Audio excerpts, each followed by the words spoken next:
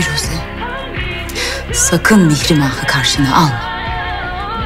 Zira hünkârımız onu tek bir gözyaşı için bütün dünyayı yerle bir eder. Baba.